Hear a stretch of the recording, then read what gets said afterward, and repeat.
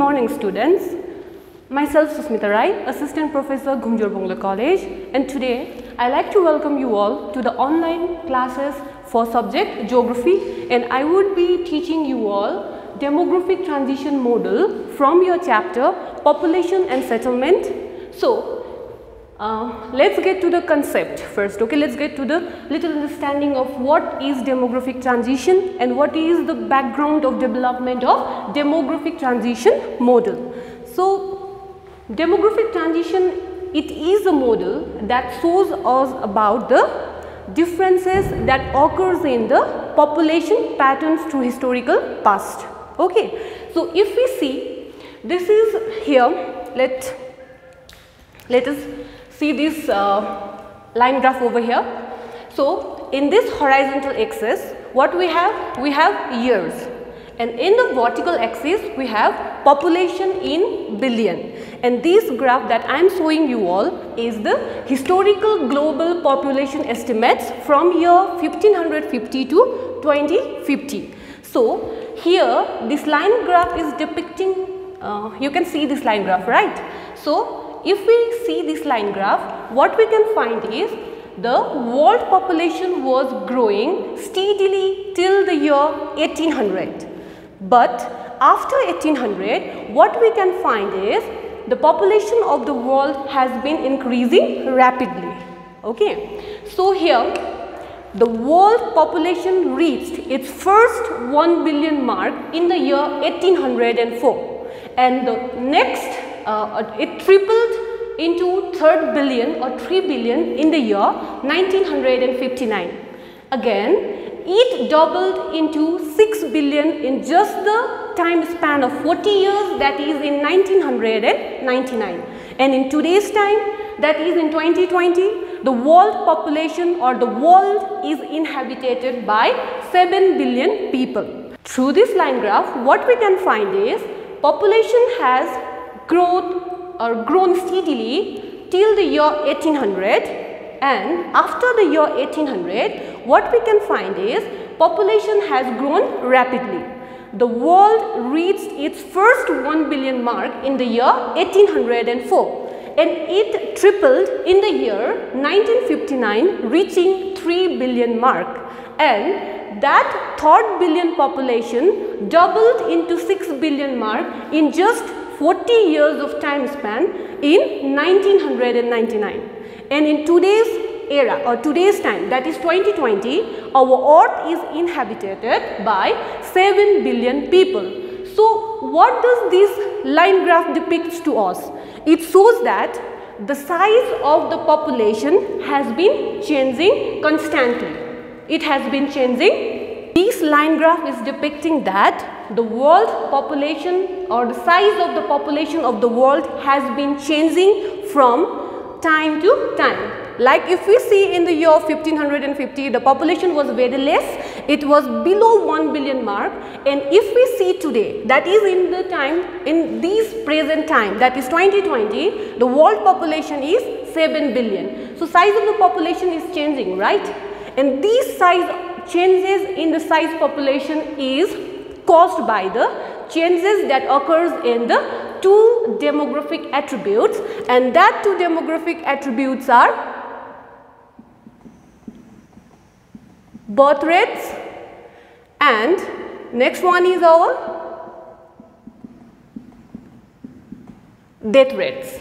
Now we need to understand what is birth rate and what death rates are. So, birth rate refers to the number of live births that take place in a year per thousand of population. Similarly, death rate refers to the number of deaths per year per thousand of population.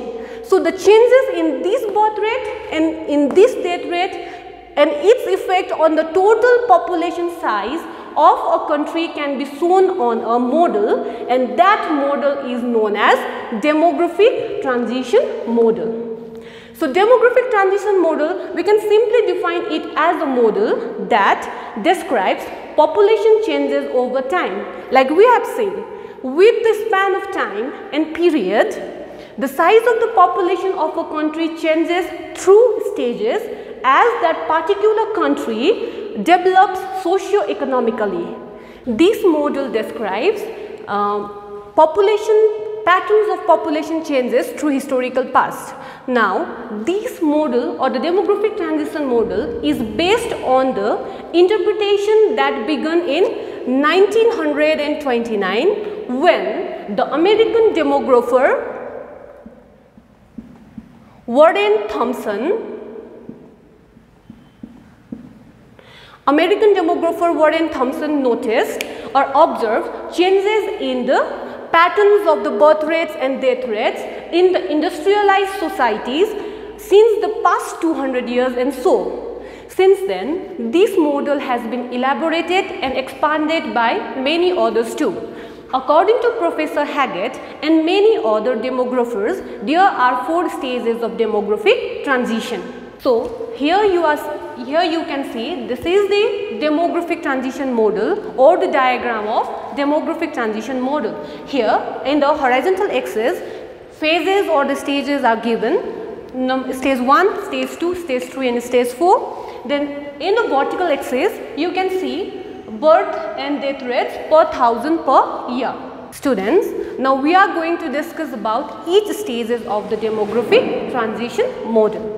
First, we are will be discussing stage 1. Stage 1, it is the longest phase among all the four phases of the demographic transition model. In this stage, birth rates are high and stable, whereas death rates are also high, but their nature is erratic due to variable food supply and epidemics prevailing in that period of time in that particular country. And since birth rates are also high and death rates are also high, population growth is almost stationary or insignificant. Now, there are certain reasons behind the high birth rates in this stage. These are number one, lack of contraceptives.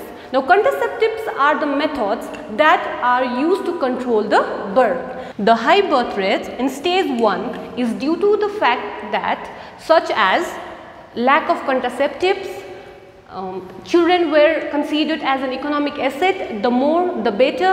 In most of the poor communities, what we can find is more children are seen desirable. They want more children so that those children can be used in the used for work in the family farm. Now, there are also certain reasons behind the high death rates in the stage 1 and those reasons are the high death rates are due to the factors such as lack of improved healthcare, lack of hygiene, lack of sanitations, wars, epidemics and lack of proper education in that period of time. Almost over 200 years ago, all the countries of the world were in this stage of demographic transition.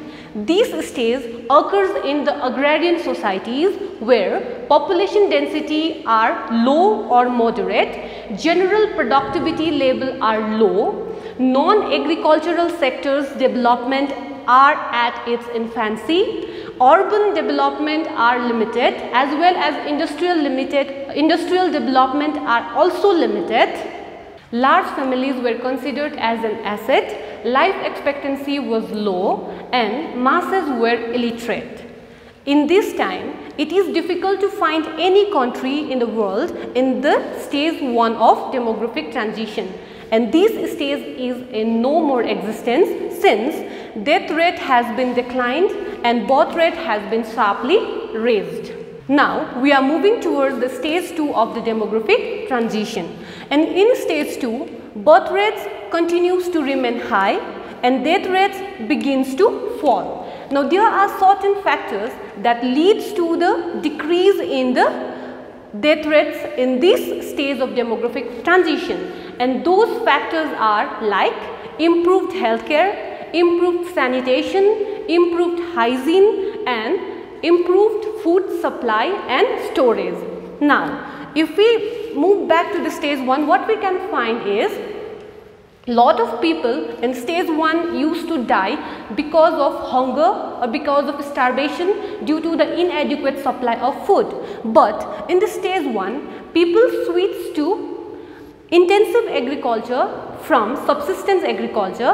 That's why there are a huge surplus production of the food crops that can feed more people than before.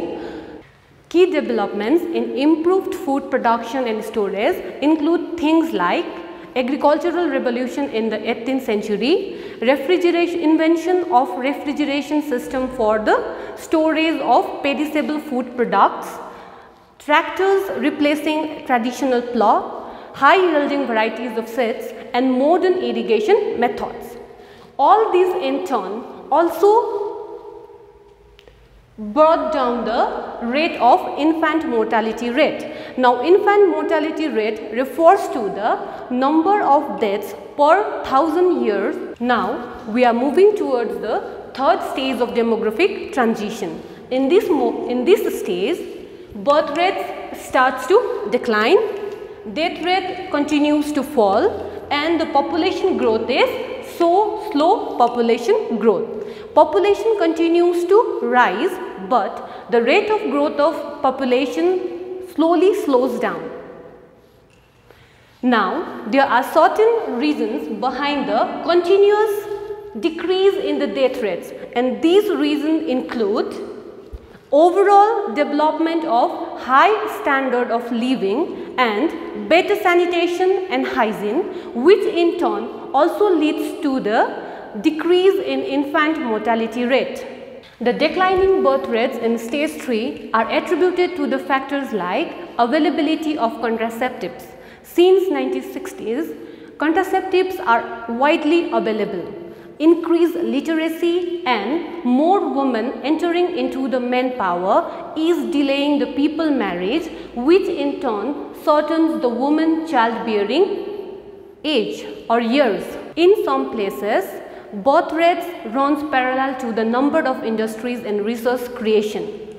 These states can be found in the countries of Eastern Europe, countries of Latin America and some of the countries of Southeast Asia.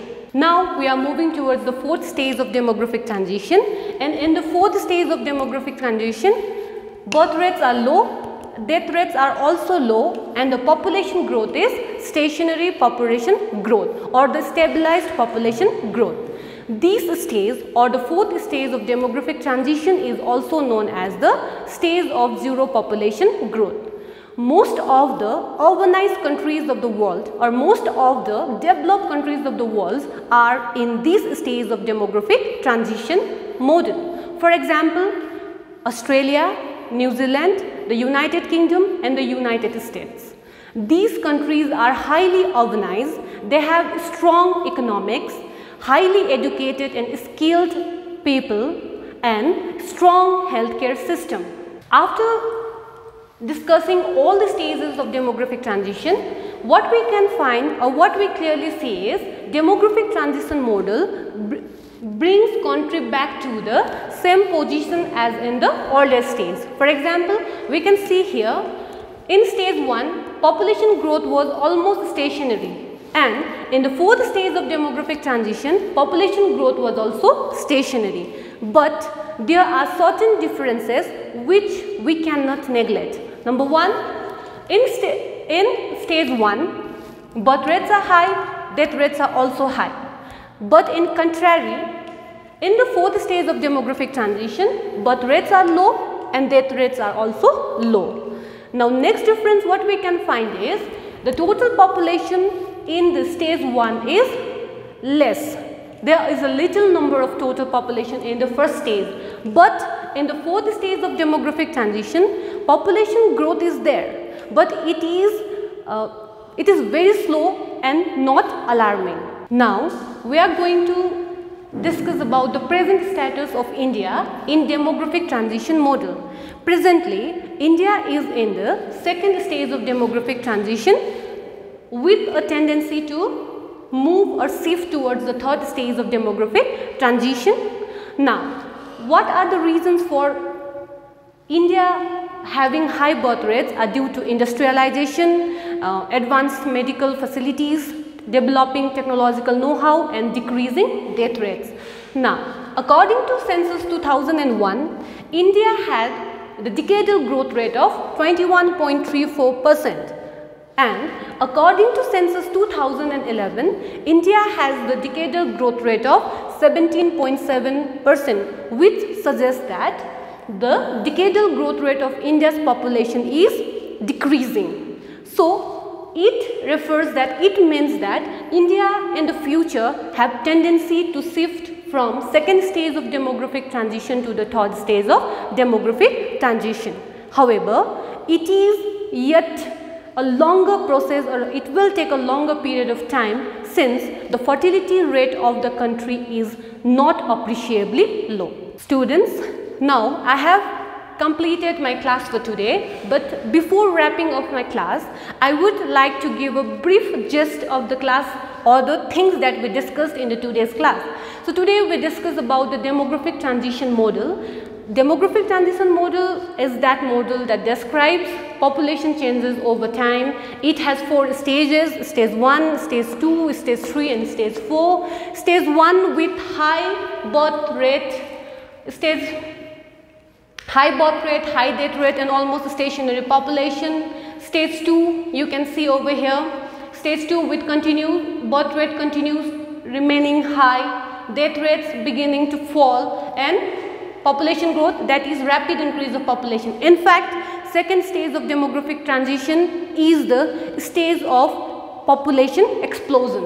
And in the third stage birth rate starts to decline, death rates continues to fall and the population growth is slow population growth. And finally in the fourth stage birth rates are low, death rates are low and the population growth is stationary population growth. And at last we saw that India is in India is in the second stage of demographic transition with the tendency to move or shift to shift to the third stage of demographic transition but only after curbing its growth or the its natural increase. So this is all for the class today. I will be teaching you all other topic from the same chapter in the next class. Till then, stay safe, stay home. Thank you.